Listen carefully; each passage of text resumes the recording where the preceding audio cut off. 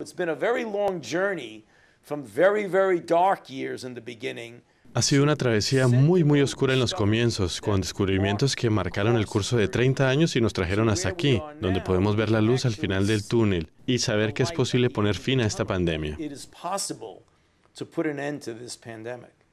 About a year and a half ago, we had the first indication Hace cerca de un año y medio tuvimos el primer indicio de que una vacuna era posible, al menos conceptualmente. No fue un ensayo que arrojara resultados demasiado concluyentes, pero fue suficiente para saber que era posible. Lo frustrante es que para cada persona que ponemos en tratamiento hay dos o tres nuevos infectados.